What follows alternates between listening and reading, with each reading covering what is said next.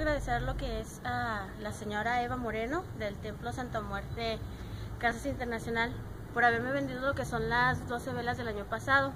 Gracias a ello hice un pacto encendiendo una vela por cada inicio de mes y así ya pude establecerme lo que es en mi negocio, lo que es una funda de desayunos. Este, ya está, eh, ¿cómo decirlo? establecido. Ah, mi nombre es Elizabeth Fraire y de nueva cuenta quiero agradecer al Templo Santa Muerte Cáncer Internacional, pero sobre todo lo que es a la, a la señora Eva Moreno. Muchas gracias.